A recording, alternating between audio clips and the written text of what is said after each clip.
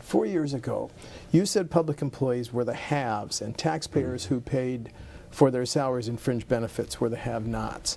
Four years later, are public employees still still the haves, sir?